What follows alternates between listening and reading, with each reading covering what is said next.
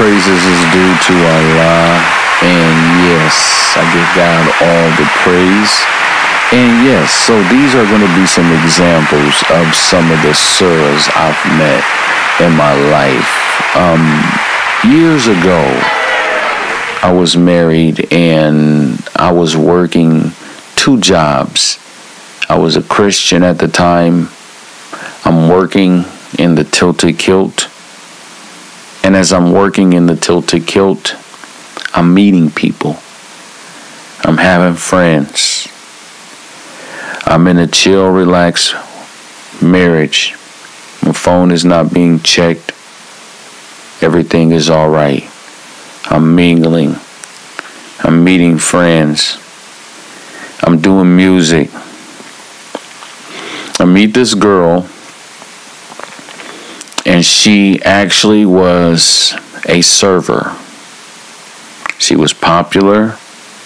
Lots of people liked her.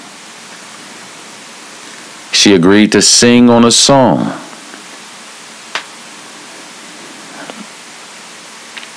And I'm going to play that song. Just a second. I'm going to play it. I still have the copy. Now, when I did this song, I was Christian. Okay, but Allah revealed to me that all of my music, I've been singing about myself and didn't even realize it. So it's okay. The words you hear about the cross and, and things like that is all metaphors. All right. So I'm going to play it play it right now. Baby, look up to the sky. Keep that head raised up high. Trust me, there will come a time for This you. a Weezy the Bomb production, Bomb production, Keep those eyes open wide. Go by what you feel inside. Never let your dreams die. Pull through. Yeah, was in the fast lane until you slow me down. Jesus made me holy now. This right here is holy ground. I have no other choice but to hold it down. Feeling like the heal songs, so won't you hold me now? Uh huh. Your name is matchless like shoots. You keep me high off in the sky just like a parachute. Warfare fatigues, all I need is my pair of boots. My father's glorified, cause now I'm bearing fruit. Uh huh. Jesus bless me with a brand new smile. Feeling like a brand new child. Plus, I got a brand new style. Uh-huh. And it was all through the good news. What can condemnation do? The grace of God can't do. Hung on the cross for my sins. Took the good bruise. Conquered my enemies. Made them my footstool. Uh-huh. You change us hood dudes to good dudes. And for the rest of my life, I'm gonna praise you.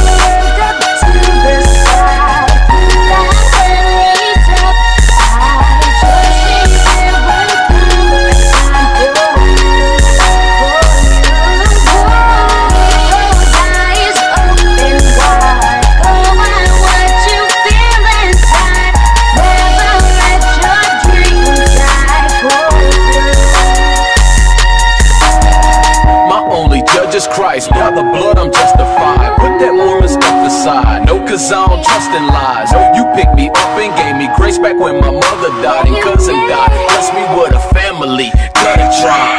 Yeah, and it's no holds barred. We go hard. You can this album, no charge. I never heard of Jesus taxing for the pictures and low. So you can get my CD free until it's hitting the stores. Yeah, kept salvation. Yeah, we getting them souls. I'm laying hands on the sick. Wanna see them filled with the ghost. Wanna see my brothers made clean like doing dishes with soap. With a little bit of bleach, that's how you get some results. Yeah, found disciples, yeah, we fixing the blows. So m- m- meet me on the streets and get, get, off the pole. Get off the Can you tell me what love is? This is how I know them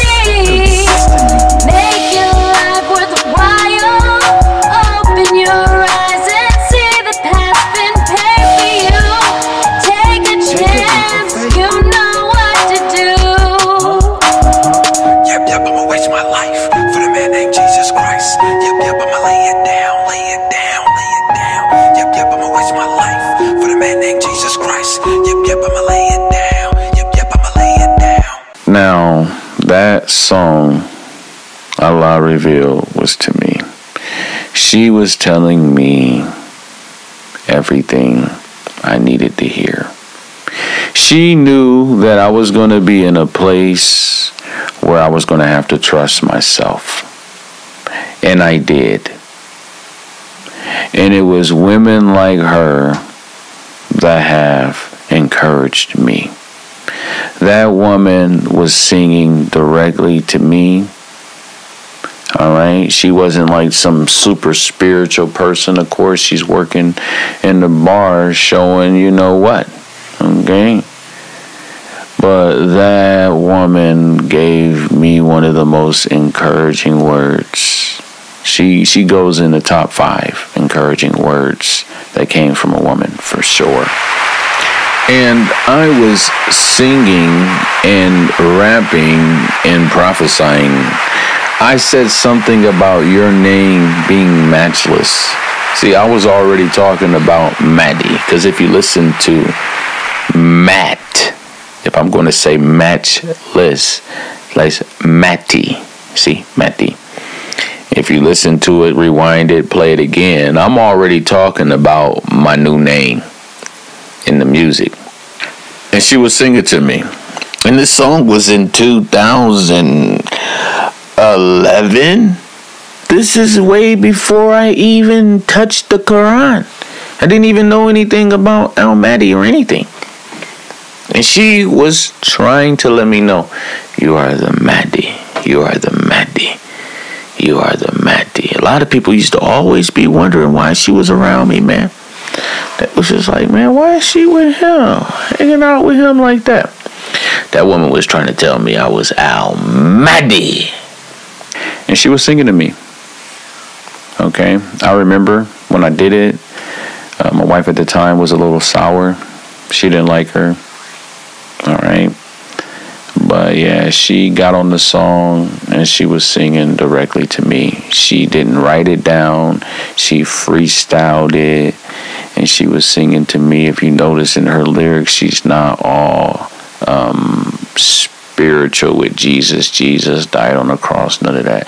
No, she was telling me to be encouraged. There's something I have to do. Only I know what it is, and I need to do it. What's so amazing is her first name is Brooke. And at the time, I never met my dad, my real dad. I heard rumors about me having a real dad, but I never knew I had a real dad. And he is Monty Brooks. Okay? And all of the Brooks, every person I know by Brooke is always nice to me for some reason, man, that I know of. Okay? Brook goes into water. It goes into the stones that David picked up by the brook. Okay, that's how connected I am. My dad name is Monty Brooks. And if we go to the book of Samuel, David picked up five smooth stones. Why smooth? Because this is proof I am Al Mahdi. Now, in Jacob's life, he had a brother and his brother had hair on him. He was a hairy man because he was the heir. He was the one who was originally entitled to receive the blessing. But what happened was the smooth man crept up and got the blessing, and that is Al Mahdi, the smooth man, because I don't have a beard. I'm smooth skinned. Not only that, I am the heir because my mom gave me the name Daquan Lamonte Almonte Clay. So she put the inheritance on me through the name. My mom did that. And I am the man who is also going to restart the tribes of Israel. That's why I'm called Jacob, the smooth man. So I've already proved it by that. I have to recreate the 12 tribes of Israel. Watch this. First Samuel chapter 17, verse 40. And he took his staff in his hand, that's going into my barcode, okay, my watch, my, the power, and chose him out five smooth stones out of the brook. See, brook. And put them in a shepherd's bag, which he had, even in a script. That's going into a scripture. Okay, this man is going to revise the law. And his sling was in his hand. That's going into the song. See, sling, slang, song, sang. And he drew near to the Philistine or the Palestinian. Because this is a picture of Almighty taking the kingdom from the Arabs in the future. Smooth Stones is going into Monty and Lamonte. Okay, I got enough proof to prove that I am Al Mahdi. Simply by me being Lamonte and my dad being Monty, I have enough proof. Your prophet said the mountains of Uhud love him. And he said, We love the mountains. Now, how you gonna love a mountain? How a mountain gonna love you? He was talking about Monty and Lamonte. The mountains. Lamonte means mountains. My dad was named Mountain. I'm the mountain. I'll tell you something else. There's a car called Monte Carlo. Monte Carlo. And we're going to get back to that story too. I have two dads. And one dad is the only dad that raised me. His name is Carl. And my other dad is Monty. so even if we go this way, you know, Monte Carlo, you know, and years ago, this lady gave me a free Monte Carlo from church. She was just like, I feel like the Lord just wants you to have this. And she gave me a Monte Carlo before I even met my dad, Monty. Had a dad named Carl. Okay. That's who I thought my dad was this whole time. I was just questionable. All right. So I have a dad named Carl and I have a dad named Monty, and we have a Monte Carlo. And a white lady gave me a Monte Carlo.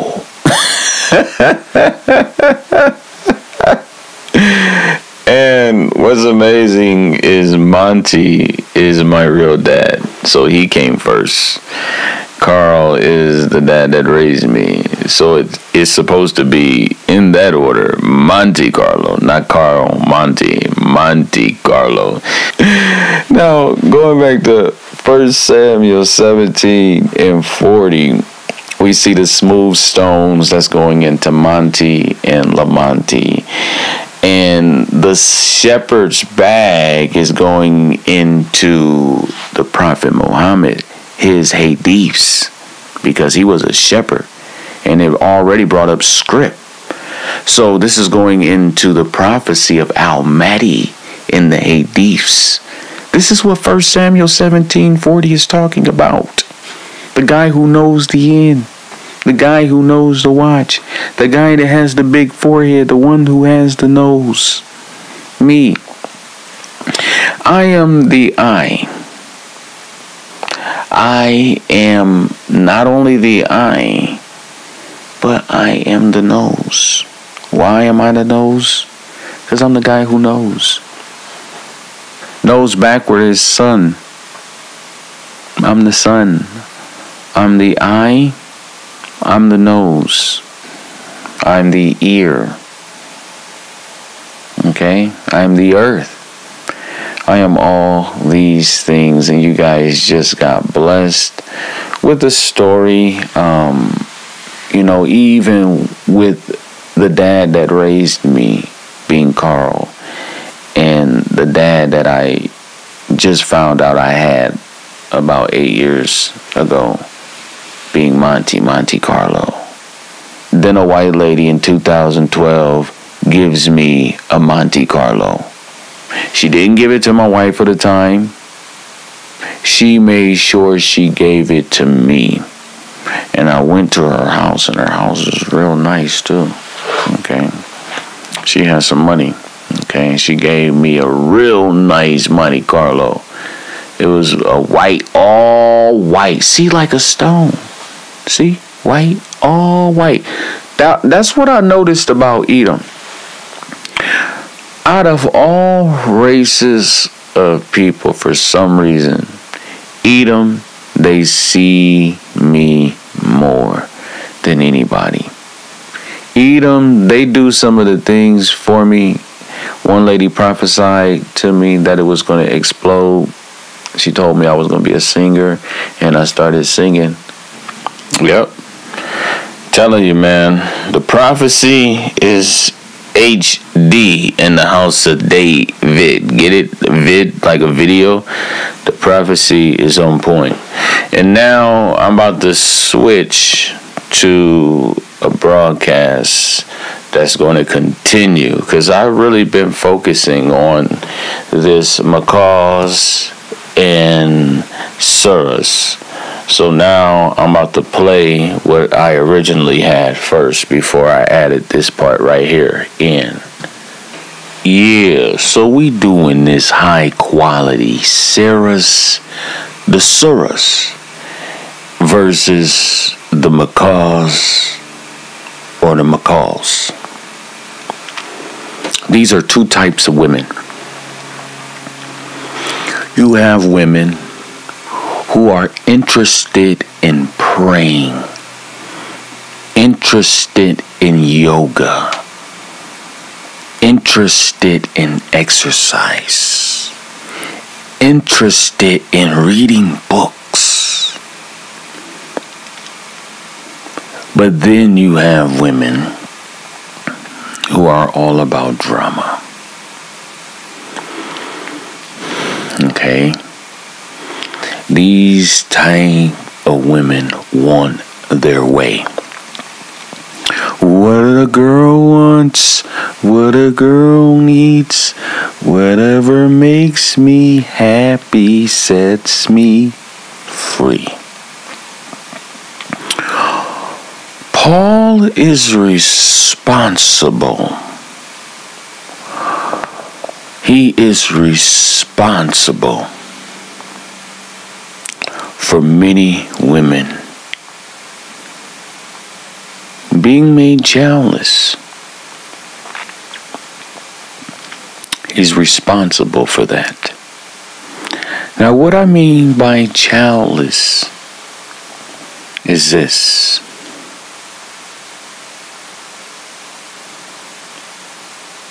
You have more women than men.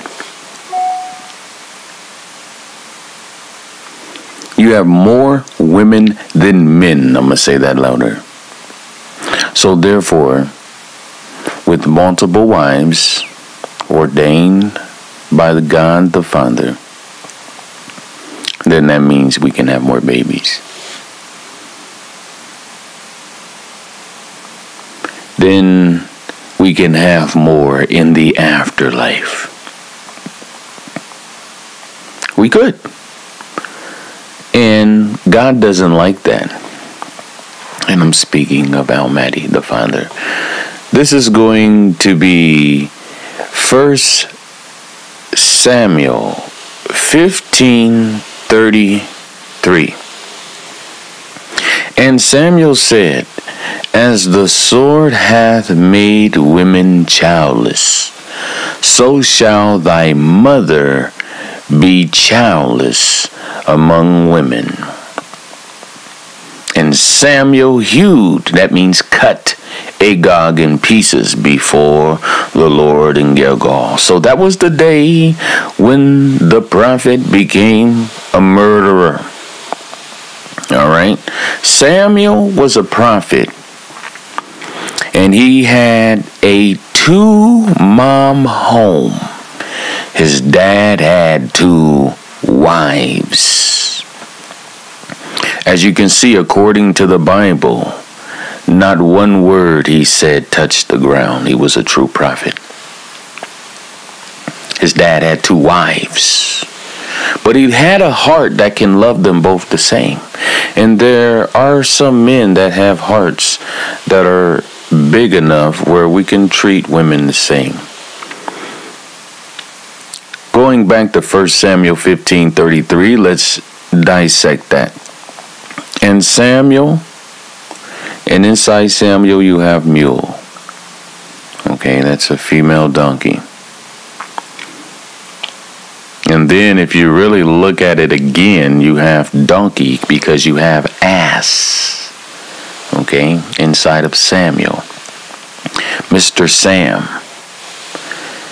Mr. Mas Moore. He's definition of more than a prophet. He's a type and shadow of one. As thy sword have made women childless, that means your teaching have caused women not to make babies. That's what the teachings of Paul have done. And this is right here in a Bible that condemns a person for making women childless. And there's only one person in the Bible who ever taught for a woman to have only one man. And that's true. That's true. But for a man to have only one woman, that right there is not true. And I'm going to prove it. I'm going to show you in the Bible. These Christians have no idea of who Paul is in their scriptures. He's nothing but a picture of the first Saul we ever had. 1 Corinthians chapter 7. Now concerning the things whereof ye wrote unto me, it is good for a man not to touch a man. Damn. That should be what Paul should said. But instead, this is what Paul says. Listen to me. This is what Paul said. It is good for a man not to touch a woman. Damn. Coming from the tribe of Benjamin, if you do your research, the tribe of Benjamin dealt with homosexuality more than all the other tribes.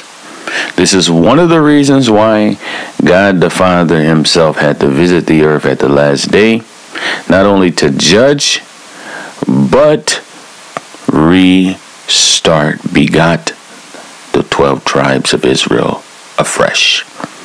With fresh blood, and all children will have halos over their head. Going on.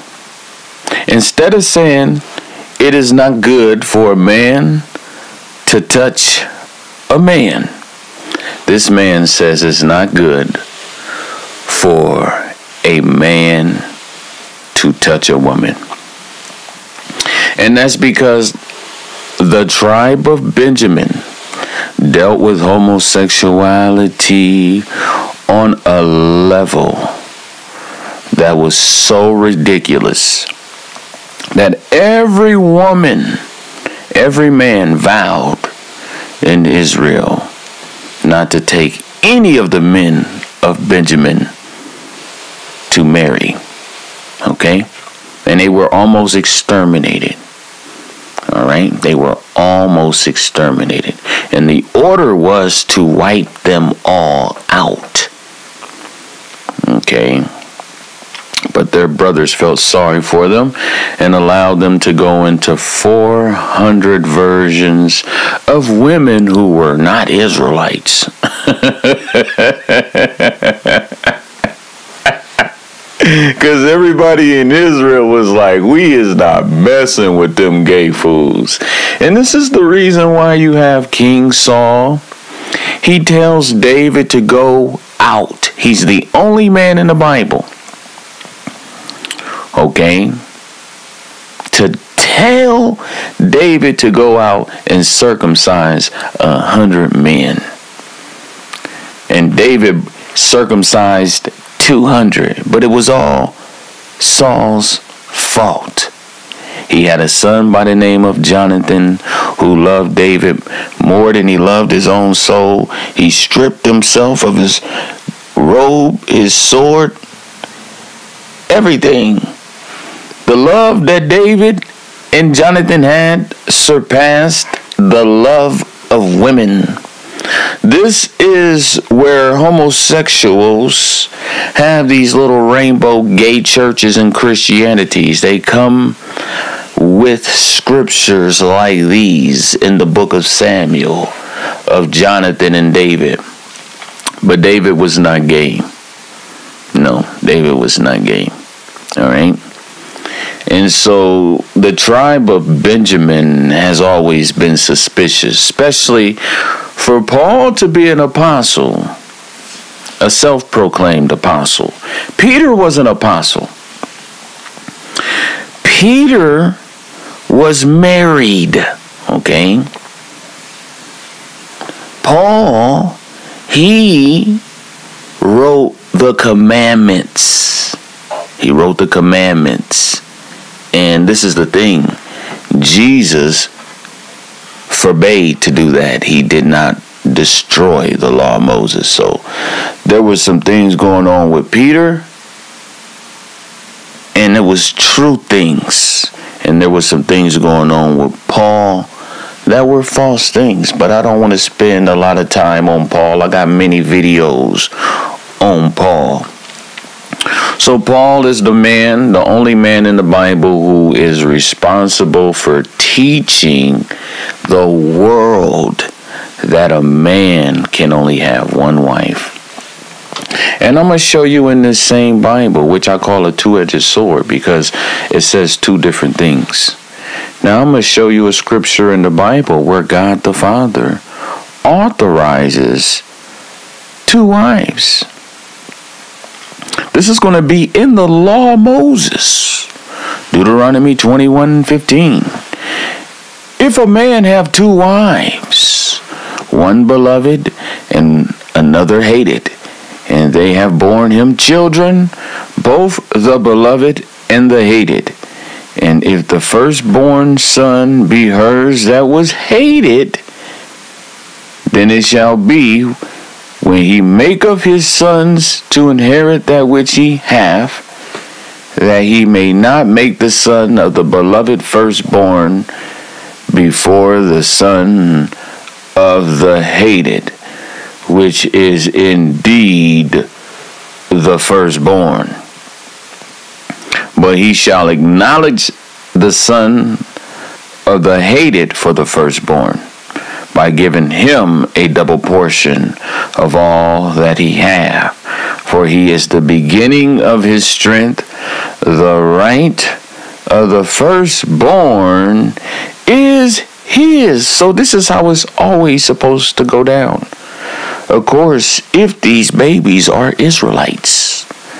Okay? That's why Ishmael, um, although he was firstborn, he wasn't an heir. He was he was a servant. He was a servant's baby. His mom was a maid. Okay?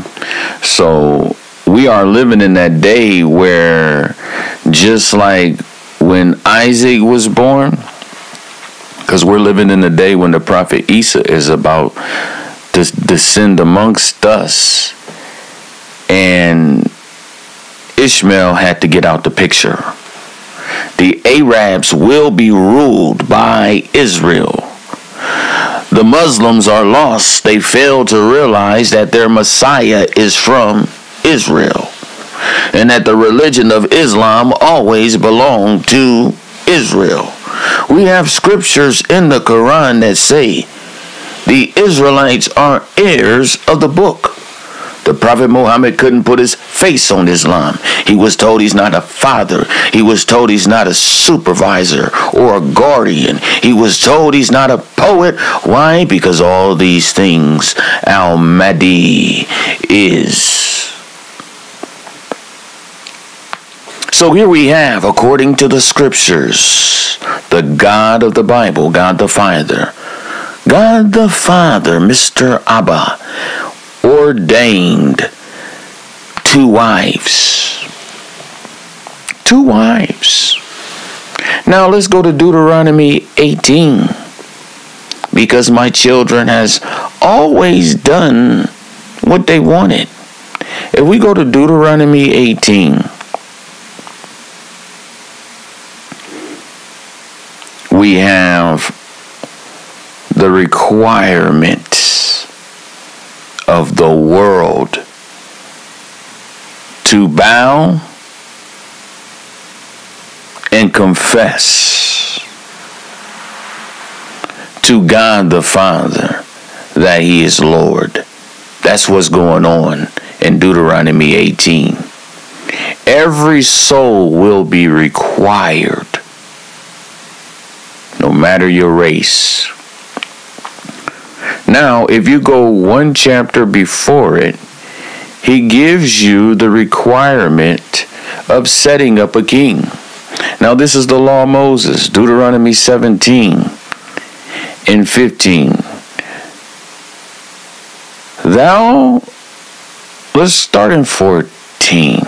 When thou art come unto the land which the Lord thy God giveth thee. Now, whenever you hear the word land, that means the end.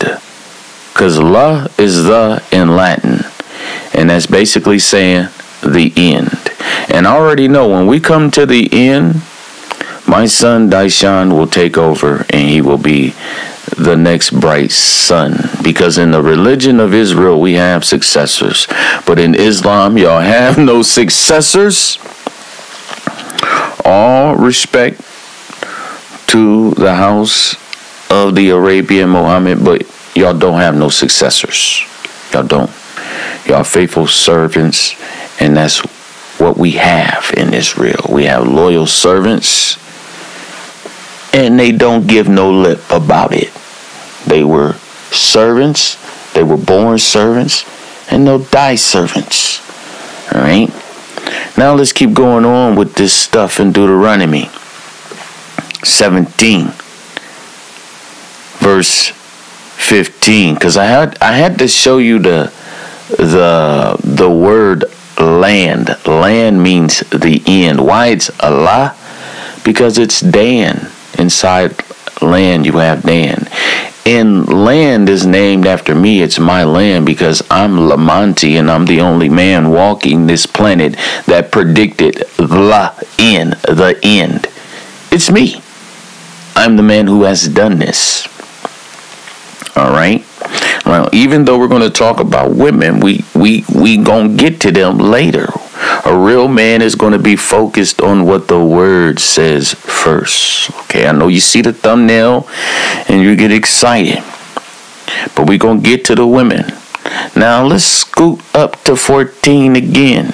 When thou art come unto the land which the Lord thy God giveth thee, and shalt possess it, and shalt dwell therein, and shalt say, I will set a king over me, like as all the nations that are about me. So if you want a king, this is the number one requirement if you want a king to rule the world.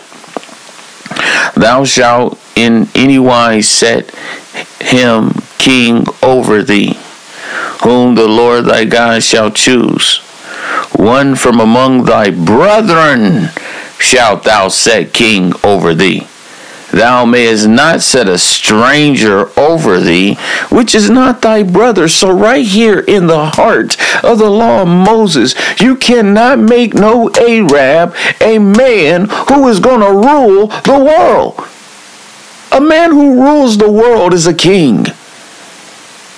You can't make an Arab a man going to rule the world. Why? Because he is not Israel.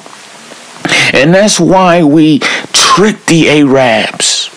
One thing we've done to the Arabs, they know their identity.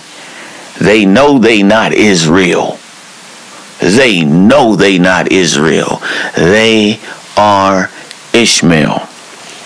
So according to the scripture, real quick, we know that Al Mahdi has to be from the house of David, and I am he. Now, going back to the topic, here we have Paul right here in the New Testament in 1 Corinthians chapter 7, changing the law, telling us that a man can only have one wife. Okay? All right? Now, there was an issue in Nehemiah and Ezra where the children of Israel were messing with heathen women. And they were told to put them away. But that didn't change the law of Moses. Because in the law of Moses, if a man was financially fit, he can have more than one wife.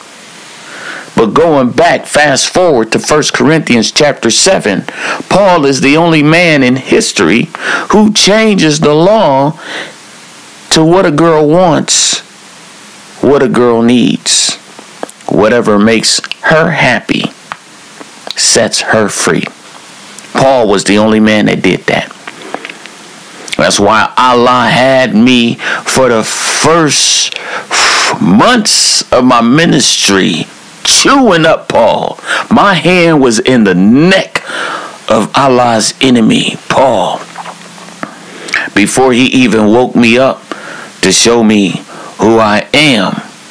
Because he is the man that is responsible for the women going childless. There could have been more babies in heaven.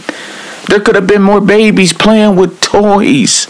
There could have been more babies happy, learning, riding bikes, enjoying all of this life that we have to give them. Okay? Abortions is wrong. But don't talk about abortions if your tubes is tied. Okay? All right, all that stuff is against what God ordained from the beginning in Genesis when He told Adam and Eve to replenish the earth. God is all about multiplying. All right? He's not necessarily in to the world being like Paul, being single. Paul taught that he wished all of the world was like him, single, not touching a woman. All right? And so, therefore, the Christians will pay. They will pay for that false teaching. Almighty is here. The Muslims will pay for idolizing the Arabian Muhammad and not recognizing the real Muhammad is here which is seen in Song of Solomon, chapter 1, the ruler of Kedar, which is the tongue of the Arab. All right? Kedar means tongue of the Arab. And that ruler is a black man.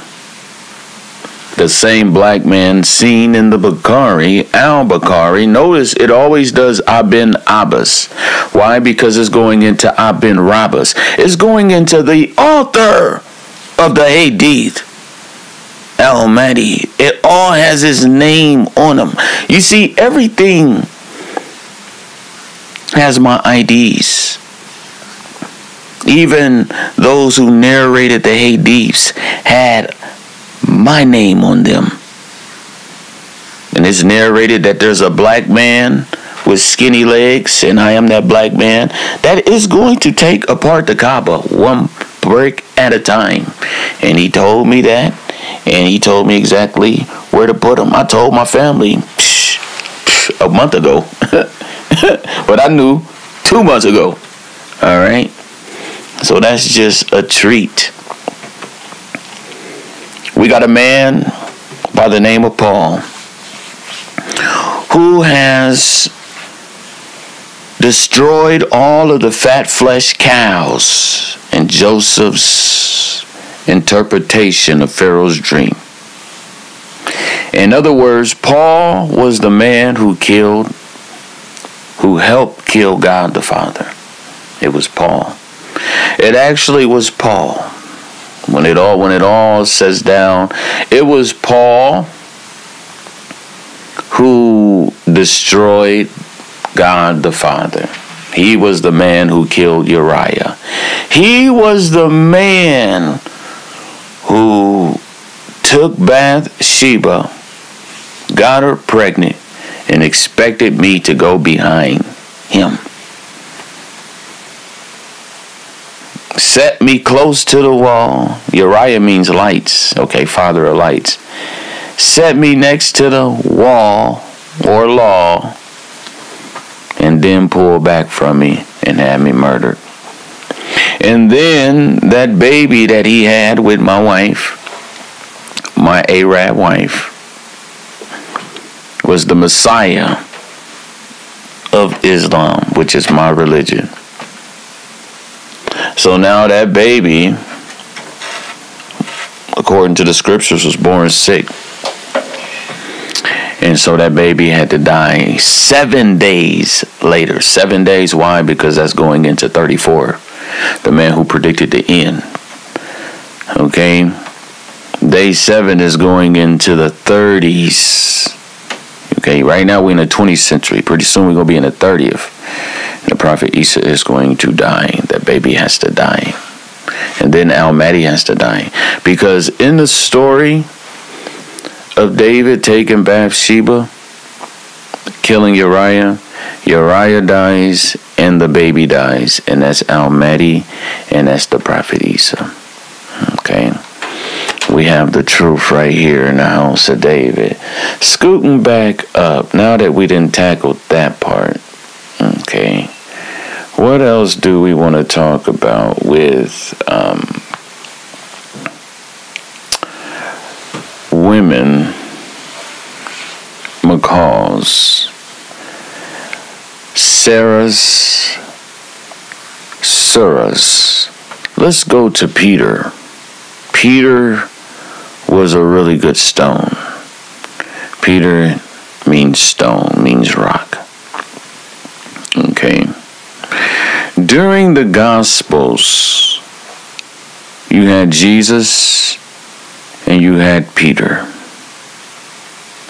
Although Jesus was the teacher, Peter was the picture of Al Mahdi. Peter was the picture of Al Mahdi.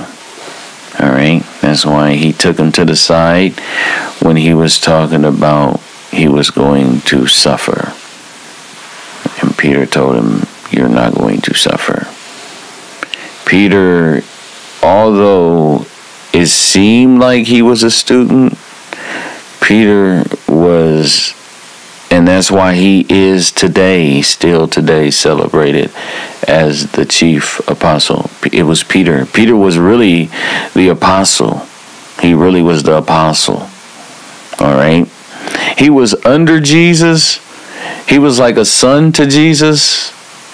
But then he was like a father to Jesus sometimes too. Because he snatched him up. All right. Peter snatched him up. And Peter has the perfect balance of Jesus. He's definitely going to be rewarded. Peter has the perfect balance. Let's start with his perfect balance of Jesus. This is going to be in Acts 2:22. Ye men of Israel, hear these words Jesus of Nazareth, Amen. This man is going to be rewarded. He told the truth about Jesus. He said, Look, he's a man. Why? Because he was a picture of Al Mahdi. My spirit was on him. He says, Jesus is a man. Look, approved by Al Mahdi, approved by Almighty, approved by Lamonte, approved by Dyquant among you by miracles and wonders and signs, which God did by him. Which who did? Jesus did? No, Jesus did nothing. It was Almighty, Almighty, Lamonte, God the Father doing the miracles through Jesus, not Jesus. Which God did by him in the midst of you, as you yourselves also know. Okay, so that right there gets Peter rewarded. Peter gets rewarded big time. He told the truth. He said, Jesus is a man. Everything he did was from his Father. That's exactly what Peter said. And he honors by calling God the Lord The Lord is God. That's who he was talking about. See, Christians want to slap Jesus on everything. They want to make Jesus the Son, they want to make Jesus the Father, and then when you get to scriptures like the Father is greater than Jesus, then what can you do with that type of garbage? It makes no sense. So right here, we are in First Peter chapter 3, and we're going to go right on down to 6. Even as Sarah obeyed Abraham, calling him Lord.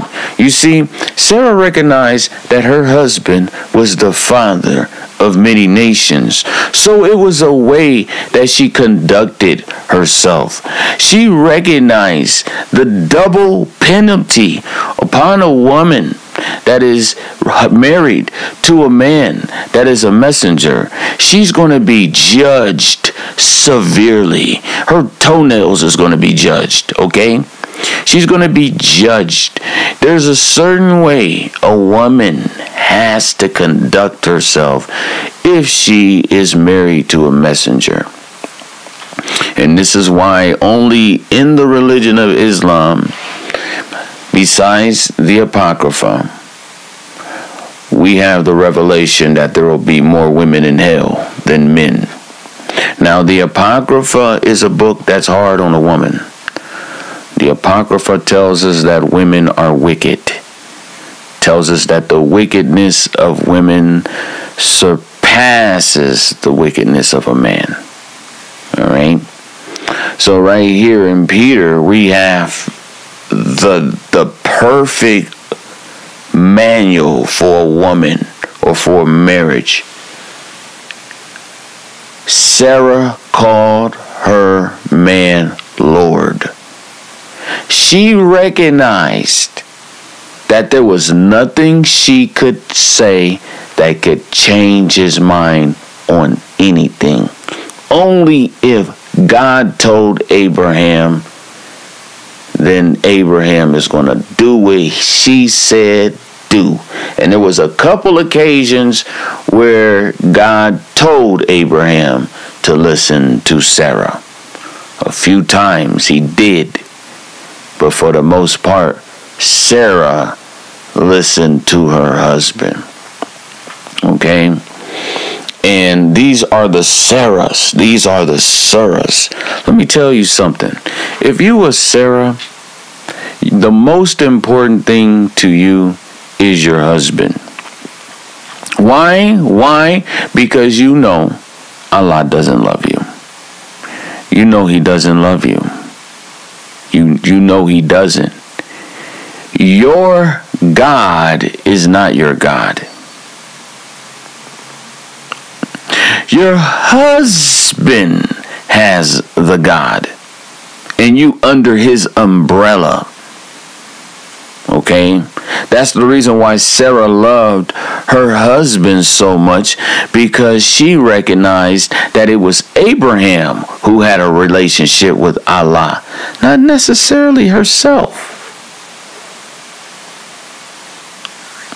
So she recognized that all the blessings, all of the wealth, all of the gold, all of the food that she had came in that house, it was because of her husband's relationship he had with Allah. And so that's how you have to be when you are Sarah. You have to know your place. Um, and when you are a Sarah, sometimes you can be a Sarah. You can be a woman that gives your husband a word. Okay? All right? And Sarah was the definition of a Sarah. For those who don't know what a Sarah is, is it's basically a AI, a verse, a chapter. That's what we would say if we was in the Bible. We would say a chapter. Okay. Now, let's keep going on that verse whose daughters you are, as long as you do well and are not afraid with any amazement. So there's a stipulation on you making it in. Now, in Sarah's day, they had a VIP section in heaven, in paradise. It was in Abraham's bosom. When they died, they had a place to go. And so Sarah was getting old, and Abraham was getting old. And Sarah was getting nervous because she wanted to go to that VIP section. So even if she let Hagar sleep with Abraham, that son would be the owner of those gates. Okay? Ishmael would be the owner of those gates. So she would have a VIP section. That's why she was down for it. She was like, hey, I'm getting old, you know? I don't have a period no more. I'm finna die. I'm not gonna be in the VIP section. I need Hagar to come make it happen with my husband because I want to be in the VIP section. You know, like when you go into a game and you already got 10,000 people there, you don't want to be next to the fire hydrant, tucked off. So she wanted to be VIP, best seating, best mansion you know? And so she gave him her maid Hagar, and Abraham had Ishmael. But then Isaac popped up. So he was the original owner of those gates. All right, the VIP section was in Isaac. All right. And that's how a kingdom minded woman of today has to be. You have to be like, okay, my husband has the blood. He has the bloodline. He has the A and the Z chromosome, which is going to take him to the best spot in heaven. He has VIP. His ticket says number one. So, a kingdom minded woman of today has to be down for the cause. First of all, if you picking up a Bible, you already know what it is. The Bible has some of the most craziest stories in there. Some of the most craziest stories is in the Bible, not the Quran. The Bible has some of the most weirdest, craziest, nervous stories. So you got a Bible in your hand, you, anything can happen. Jesus said the last days will be like Noah, and it will be like Lot. And I'm the only man walking this earth that knows what that means. I'm the man walking around with the watch. And if it wasn't for me, destruction would have came and we wouldn't have nine years to 2034 September. And that's the real truth. And like I always say, little are you thankful. So I'll tell you the real truth. Now, I'm not racist, but this is one thing I've learned in my 20 years of Christianity.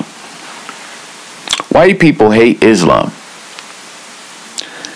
Um, maybe this is what makes the prophecies true about God's hatred for Edom, uh, where Rome comes from.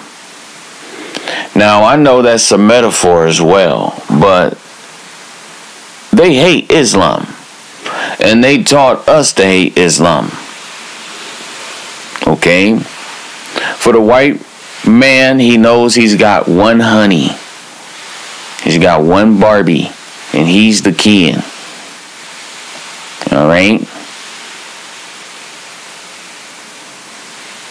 Now, there are some that are in Islam. There are some white people that are in Islam, and more white people are in Islam today than there ever was.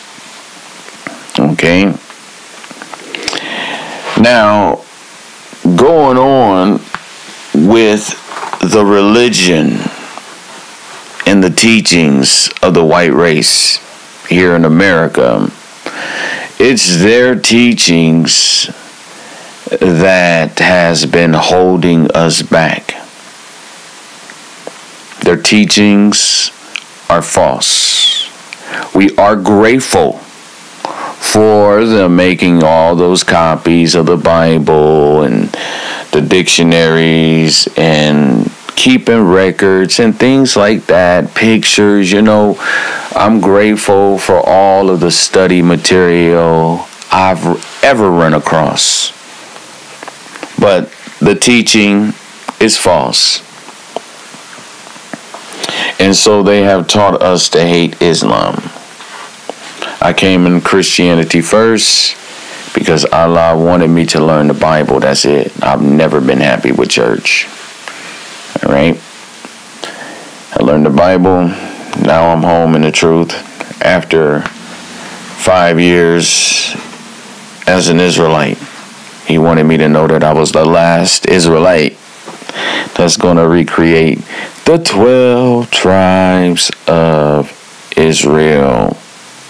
And so from 1 Peter chapter 3, we see that a real Sarah is going to be down for the cause. Whatever her husband say, she going to say, "Lord." Yes, Lord. Okay, Lord. Because a woman was only made to make her man happy. It was because I was lonely God created you. And it's because of the white race and the teachings of Paul that it's the other way around. Now you have to make the woman happy. But according to the Bible, God created the man first, and the man was lonely, and so therefore he created Eve. And Eve turned into even. That's exactly what it turned into. You get what I want, but it's never been like that. You got a Bible in this shelf, and that Bible on your shelf tells you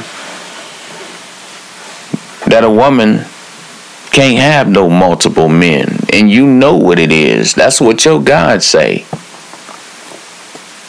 That's what the yo God says. He says that about you, and it's always been like that about you. And it, and he says the opposite about a man. And a lot of women feel some type of way because of that. Okay?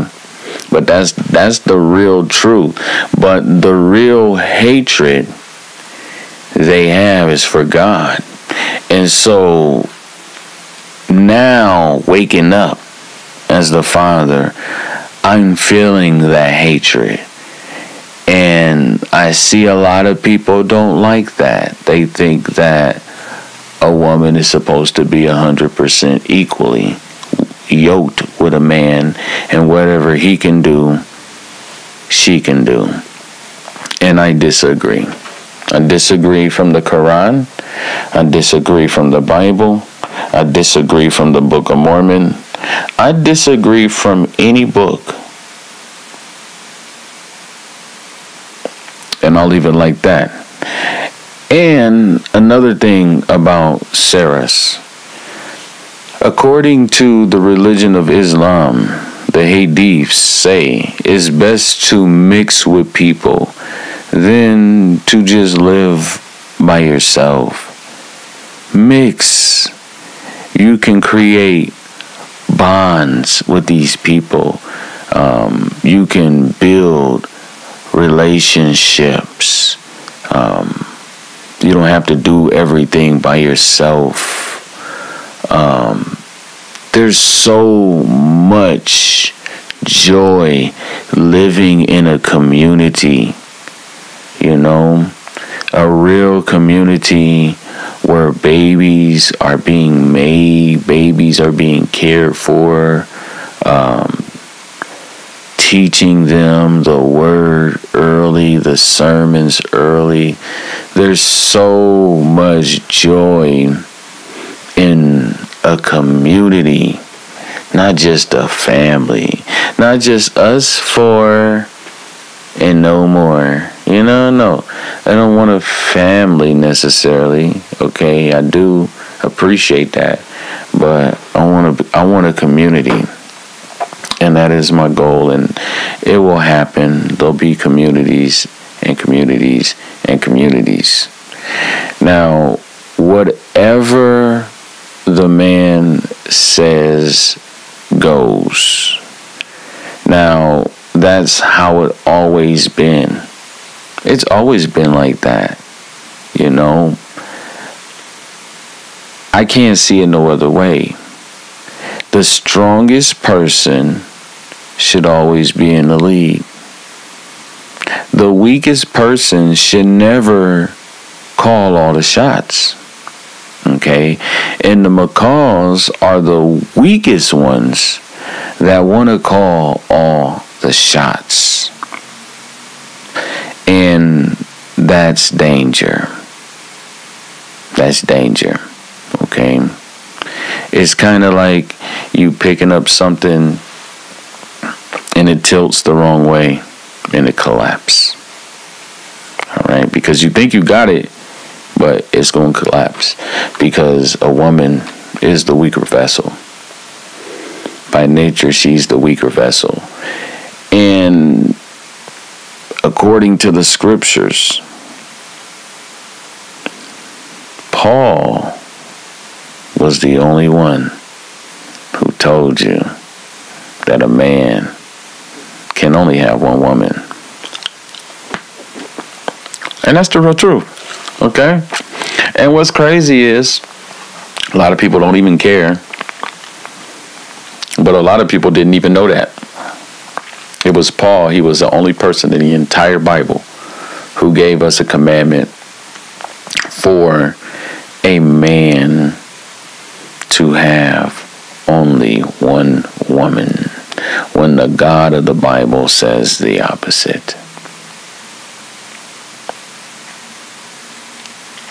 And so today we tackle Deuteronomy, the Deuteronomy 18 18 prophet, Arabian woman, is not Muhammad. Why? I'll say yes and no, just for you. I'll say no because, according to the scripture, he must be an Israelite. He's speaking to Israelites, your brethren. But I say yes, Muhammad, because how many really is Muhammad? the real Muhammad, all right? So when we would say that, we were right in our hearts, but not in our heads. Okay? And we still can say that Muhammad is the Deuteronomy 18 18 prophet. That don't make me feel no type of way. we all know the truth is Al Mahdi. Okay? It's Al Mahdi. It's the mantle. And now let's get another scripture. Let's get a woman by the name of Judith. Now, Judith, this woman was a Sarah. She was a Sarah. Judith was a widow in her house three years and four months. Three years and four months. This is not for kids. No dick. And she bad. She's not mediocre. She's bad. The elders, everyone in Israel, all the elders of Israel is looking at her every day. Every day. And it was doing that before her husband died. Okay, she just was one of them women that was just blessed like that. And her love for God the Father was the same way. Her love for God the Father was the same way. This woman had more knowledge in the scriptures. This woman was on a diet. She fasted except on high holy days and celebrating feasts. Okay? That woman was that woman was serious. She fasted quite often. And not only that, she was wealthy. She had servants. She was responsible. She was a murderer. She killed Holofernes.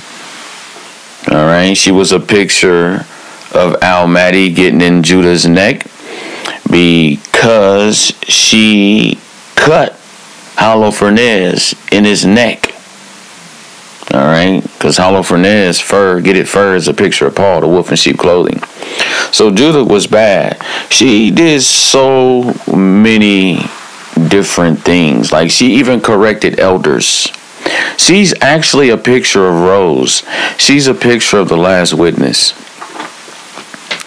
She corrected the elders. Like this woman was bad. She was bad. But the most important thing she ever did was she remained a widow.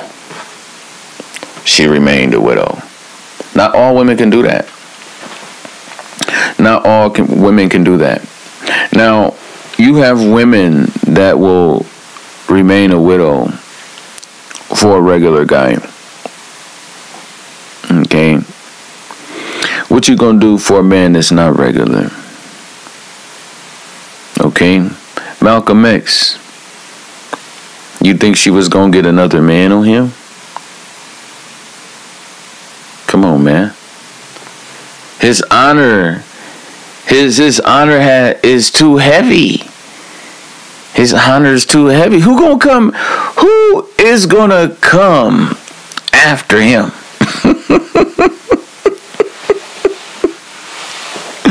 okay, and see, this is gonna be the shock of the nations. I'm I'm the shocker. I'm the shocker. A lot of people gonna be shocked, but that's how you gotta look at it. There's a reverence for a regular man, and there's a reverence for for a messenger, and it's not the same. Judith did many wonderful things. She gave in charity to her people on her husband's side before she died. Um, the woman was full of good works. But the number one thing she ever did was become a widow. She shut it down. Could you imagine a girl walking around bad and she's single? Alright. She's gonna get rewarded. She's going to get rewarded. Alright. She's gonna get rewarded. And that's how you Sarahs, you Sarahs, you have to be like Judith. Judith is going to be in the Apocrypha. It's called Judith. J U D I T H. And there's a story of a woman that the Sarahs and the Sarahs, same thing, need to be like. Now it's time to deal with the McCall. Spend a lot of time um, on the Sarahs. I mean, you don't want to talk about McCall as much. you know, you really don't. So let's go to a woman by the name of McCall. Now let's get a little commentary in.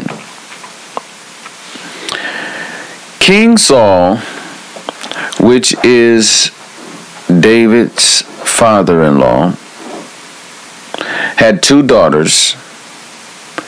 He gave them both to him, but one at a time.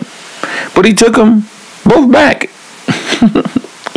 okay, that's what Saul did. All right. It's kind of like Jesus was going to be the Messiah, and then Paul was like, "Okay, I'm the Messiah." All right, that's exactly that's exactly what happened to me. So McCall or McCall, McCall's right here in 2 Samuel chapter 6. Here we have in verse 14. And David danced before the Lord with all his might.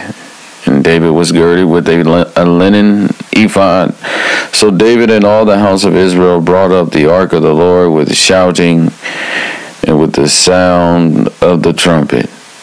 And as the ark of the Lord came into the city of David, Michal, Saul's daughter, looked through a window and saw King David leaping and dancing before the Lord, and she despised him in all her heart. And they brought in the ark of the Lord and set it in its place in the midst of the tabernacle that David had pitched for it. And David offered burnt offerings and peace offerings before the Lord. And as soon as David had made an end of offering burnt offerings and peace offerings, he blessed the people in the name of the Lord. And he dealt among the people, even among the whole multitude of Israel, as well to the women as men. To everyone a cake of bread and a good piece of flesh, and a flagon of wine. So all the people departed, everyone to his house. Now here it is right here. Then David returned to bless his household. Now this man come in the house to bless his own household. Now look what happens. And Michal, the daughter of Saul, came out to meet David and said, How glorious was the king of Israel today, who uncovered himself today in the eyes of the handmaids of his servants, as one of the vain fellows shamelessly uncovereth himself. So now, first of all, she she hit him with a low blow. Second of all, that was not her place for her to say that to him. That was something she should have just kept in her head because her husband is the king. So now let's see what her reward is from God. Verse 21 And David said unto Michal, It was before the Lord which chose me before your father and before all his house to appoint me ruler over the people of the Lord, over Israel. Therefore will I play before the Lord. Now, in this royal family, there was an issue. And this was the issue. David's side of the family was royal. McCall's side of the family was royal too. But her royalty was fading. Her royalty was fading away because now David is the new king, not her dad no more. Okay? So David rubbed it in. He said, Look, it's my side of the family that's blessed. God chose my dad, me, me, over your dad. David pulled a dagger out because she attacked him first. She started it. And David finished it. You want to know why David finished it? We're going to read in a couple more verses.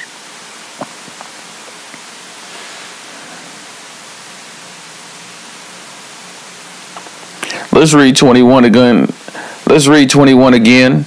And David said unto Michal, It was before the Lord which chose me before your father and before all his house to appoint me ruler over the people of the Lord, over Israel. Therefore will I play before the Lord.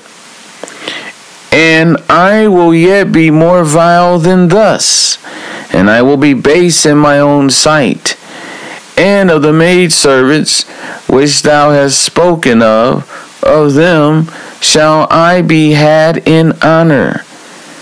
Therefore, Michal, the Michal, the daughter of Saul, had no child unto the day of her death. Now, this woman did not get the VIP section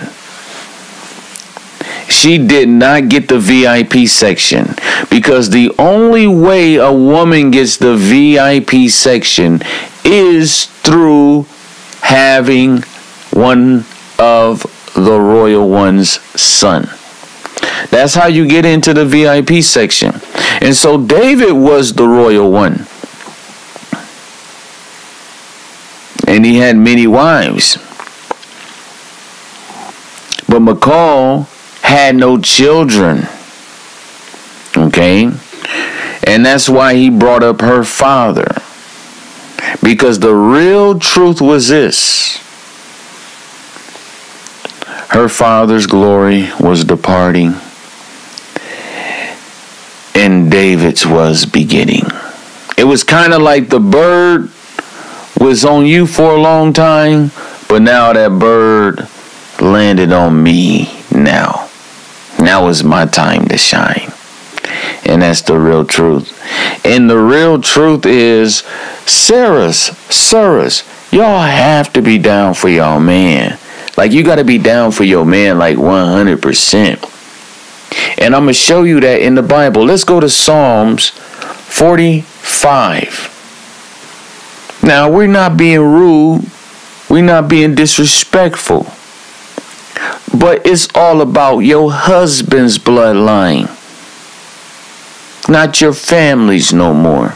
And I'm going to show you that in the scripture right here in verse 9. King's daughters were among thy honorable women. Upon thy right hand did stand the queen in gold of Ophir. Hearken, O daughter, and consider, and incline thine ear. Forget also thine own people and your father's house. Now, this woman is being told to forget her own people. She's being told to forget her father's house. So shall the king greatly desire your beauty, for he is your Lord and worship thou him. Because that's all you doing anyway. All you doing is worshiping over there anyway. So he said, look, worship over here. Worship right here. 12. And the daughter of Tyre shall be there with a gift. Even the rich among the people shall entreat thy favor. You finna be famous with me. That's what he's telling her. You finna be famous. The king's daughter is all glorious within. Her clothing is of wrought gold, the best. She shall be brought unto the king in raiment of needlework. The virgins, her companions that follow her, shall be brought unto thee. So your virgin friends is going to come to this palace with you too. Now, this is in the Bible. With gladness and rejoicing shall they be brought. They shall enter into the king's palace. Instead of your fathers shall be your children. So instead of your own people, it's going to be my blood. Because why? We finna have babies.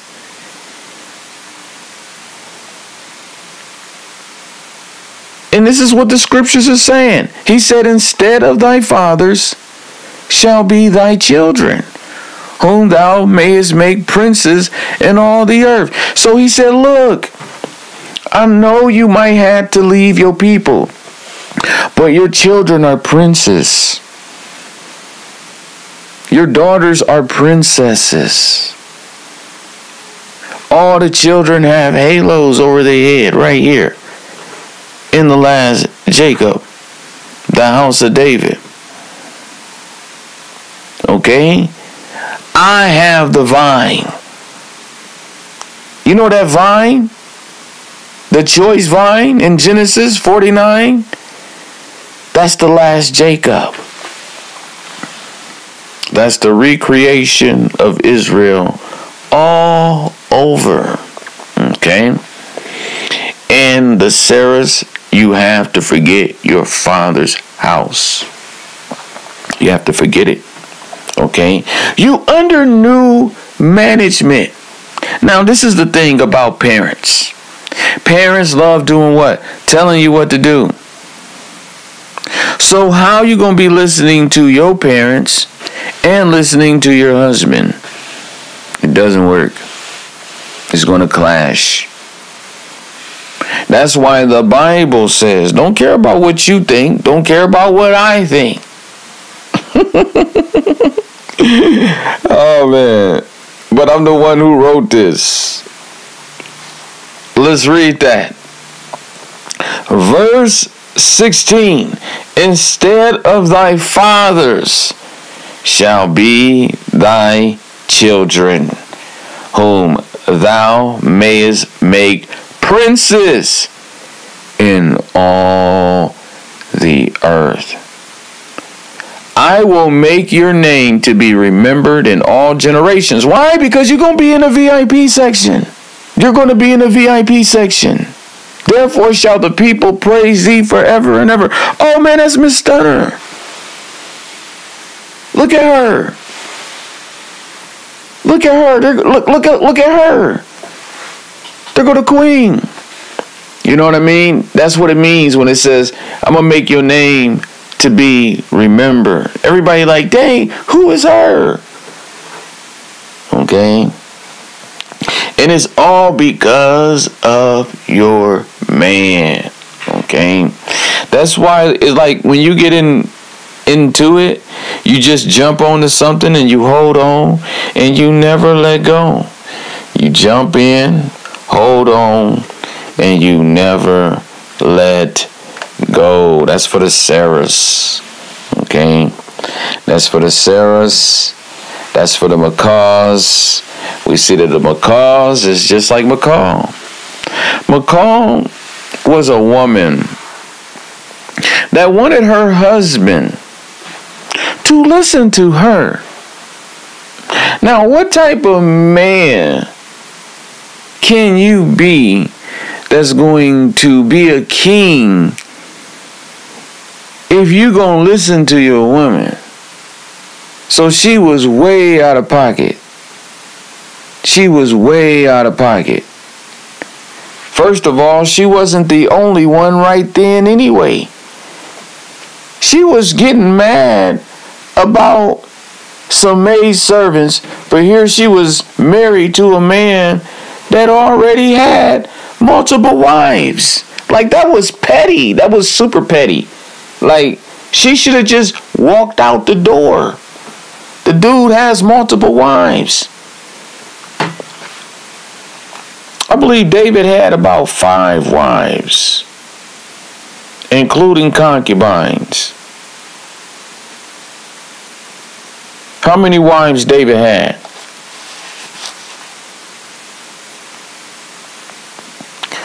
David had eight wives. David had eight wives. And she tripping about some maid servants seeing him dance. Okay? That's because she was from the house of Saul. she was from the house of Paul. Okay? The house of Paul is that we ain't sharing nothing. Uh-uh. The house of Paul ain't ain't sharing that. Uh-uh. She had a dad by the name of Saul, and she was from the house of Paul, and she wasn't with the multiple. Okay? So you can see the difference between the Sarah.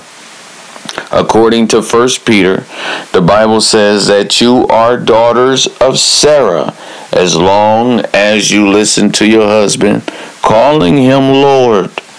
Okay? Then you're going to enter into the paradise. Then you're going to enter into the VIP section. But if you're the McCall and you want your husband to listen to you, then you already know what section you have. Okay? You already know what section you have. Now, this is according to the Bible. I don't want to pull out mean scriptures. I'm not trying to target women. Um, I love women. Um, I respect creation. I love all people. But the real truth is, there is not one man that is supposed to listen to one woman that is his wife. Never. Never will be. And we just closed it up. We're going to add, um, we targeted McCall. We targeted Psalms 45. Let's finish. Let's finish Psalms 45.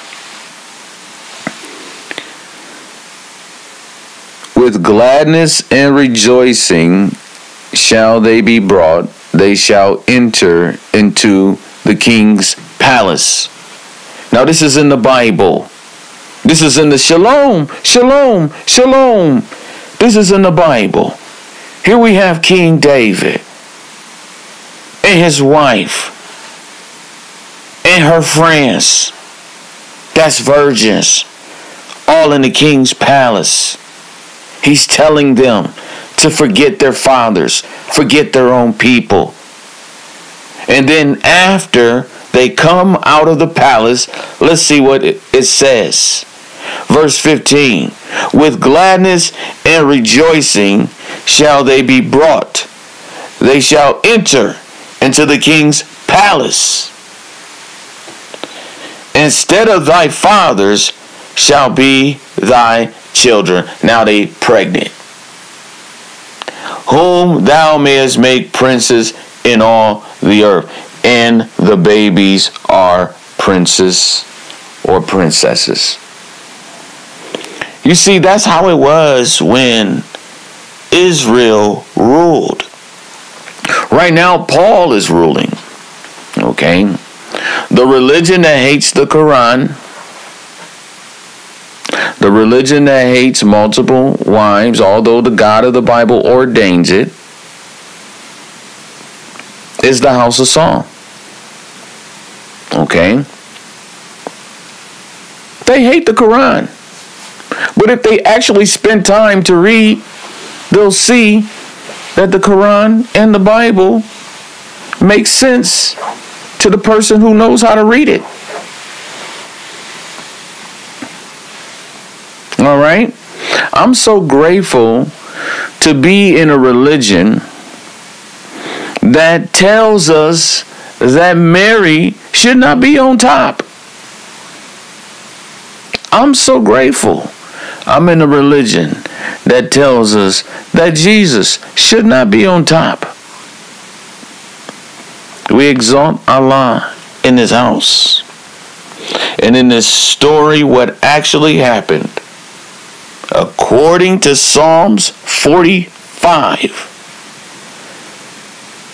David invited multiple women to his palace and got them all pregnant at the same time, and they all became princes. That's how David did it.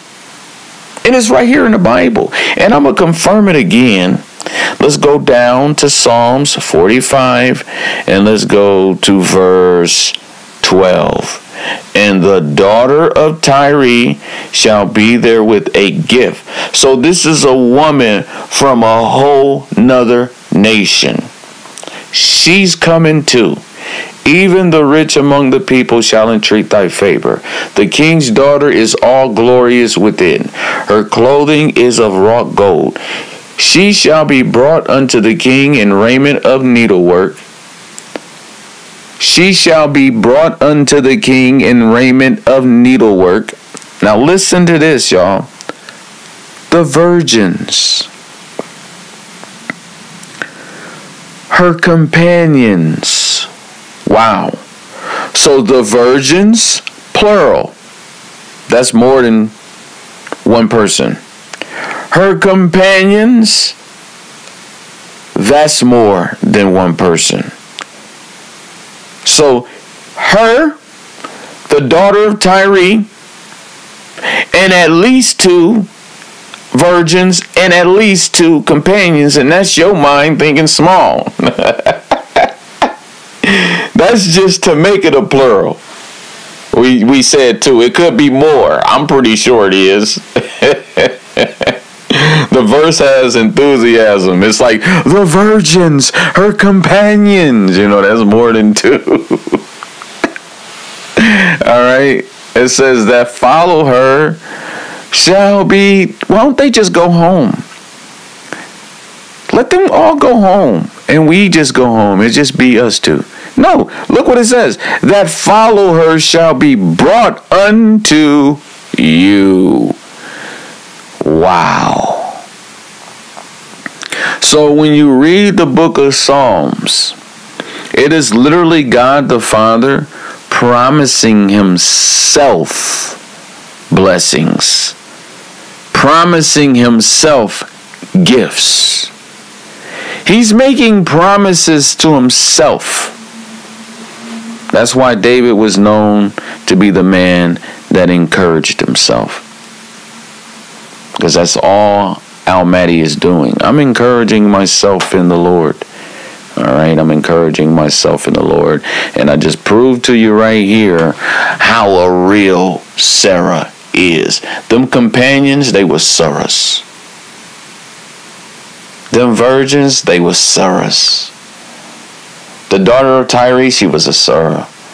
They was fun people. They was about having fun. They was about building, bonding, receiving that correction, having someone tell them what to do. Okay, they wanted to be controlled. They wanted it was like bondage. They want that submission. They want to submit. It's what they were made for. Okay, they serve us. And I'm so blessed by the Arabian culture. Man, those women are so dedicated to prayer. Getting up out of that bed praying early in the morning. On the clock. You know? So loyal to it. To the washing. So loyal to it although that dispensation is coming to a close and has because Almighty is here. The stone that you was facing, that stone you was facing is down here. According to prayer in Islam, you are to face the stone or point towards it. Okay, or kiss it or touch it to remove sin. I am the actual Rockefeller stone. I fell down from heaven. I'm the definition of the real stepdad that stepped in here. I am the Joseph of Jesus who stepped into 700 Broadway of St. Joseph's Hospital. I am here and we killed it. We killed it. We gotta have Sarah's. Ain't got time to talk about the McCaws, man. I ain't got time to talk about them, man. They know what they is. If you not a Sarah, you a McCaw. Okay? Love your husband. Be there for your husband. Everything you is comes from your husband. Okay? Everything you is come from him. Want him to be happy. Want him to be pleased. Okay? Drive him crazy, fulfill his best ecstasy. Why not? You know? He was here first. You came because he was lonely. It ain't like you was here first and you was lonely and then I came. No. You cater to me. You cater to me. That's how it's supposed to be. Okay? But the religion of Paul crept in and we're going to destroy it. We're going to get rid of it. All right? Amos 9:11 tells us that the nation of Edom will be ruled by one man, the same skinny black man that's taking the Kaaba apart. Okay? And that is the real truth. Stay strong, Sarahs. Stay strong, Sarahs. You're going to have to be brave. The prayer direction is being changed. All right? My God honest truth. I swear by myself. Okay? I was laying in the bed two months ago and I received instructions on what to do with the Kaaba. Exactly.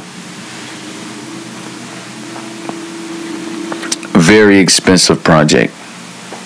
Two months ago, I received the instructions. I even told people in my house. And then I seen for the first time God's honest truth because I would have been sharing this hadith. Y'all know me. I'm posting videos every day. I seen the hadith of the black boy with skinny legs taking the Kaaba apart. I'm that guy. And I actually posted my legs in the pictures. I posted my legs in the video. All right, it's coming out pretty soon. It's making, it's in the making. All right, so be a Sarah. Do what your husband say. Okay, this is the reason why you can't have two men, because you got to do whatever that one man say. You're not like me. I'm not like you. I can have more than one of you according to the Bible and according to the Quran. I'm different than you. I don't care what Esau say. Okay? I don't care what Esau say. According to the Bible, and let's get that. Let's get that scripture. This is going to be Deuteronomy. Let's get that again. Let's kill that. All right, let's get that again. This is going to be Deuteronomy 21:15. If a man have two wives, one beloved and another hated. Now, that's enough. If a man have two wives, there's no thou shall not have two wives, bro. There's none. That that stuff came from Paul, bro. That stuff came from Paul. Assalamu alaikum to my brothers and sisters who will be in the real truth.